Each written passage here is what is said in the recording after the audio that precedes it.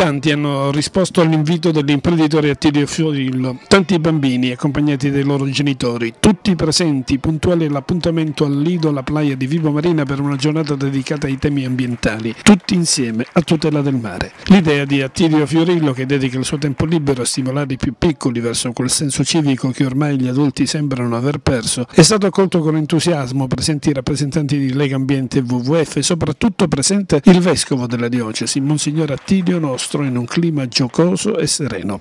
La partecipazione di tanti bambini, i temi ambientali bisogna partire soprattutto da loro. Assolutamente, la cosa più bella è il fatto che i bambini hanno questo approccio alla natura molto naturale, molto tranquillo, molto diretto, molto immediato, molto trasparente ed è bellissimo trattare insieme con loro questi temi perché sono sensibili a, a, a, ad un mare che non sia sporco, che non sia macchiato, che non sia inquinato.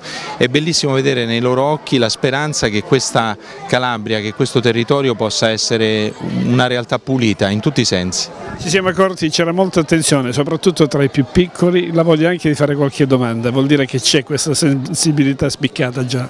Sì, ho detto ai bambini che anche in tante scuole, tanti insegnanti, tante mamme, tanti papà si stanno dando da fare per sensibilizzare i propri figli a queste tematiche che per noi sono sempre più importanti, sono fondamentali perché noi mangiamo, respiriamo, nuotiamo in questo ambiente ed è importante che questo ambiente sia pulito e noi dobbiamo proteggerlo.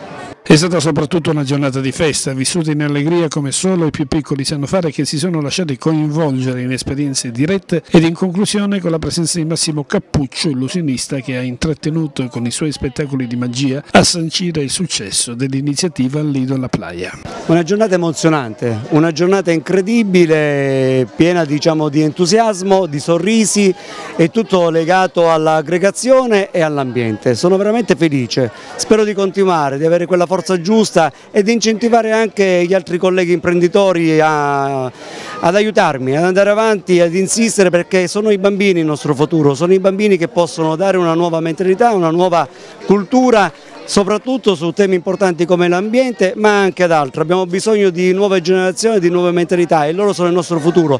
Dobbiamo esportare questo, non importare fuori. Dobbiamo avere la possibilità di cercare dai nostri bambini sempre di più di educarli. E siamo noi, noi i promotori, i genitori, quindi un invito è soprattutto ai genitori, portateli in queste attività educative, cercate di essere presenti perché sono loro che possono costruire, il nostro futuro, altrimenti resteremo sempre là, la nostra povera Calabria, la nostra povera Vibo Valencia, invece insistiamo, crediamoci, il futuro parte da loro. E io ci credo, ci voglio credere e Vibo Marina c'è.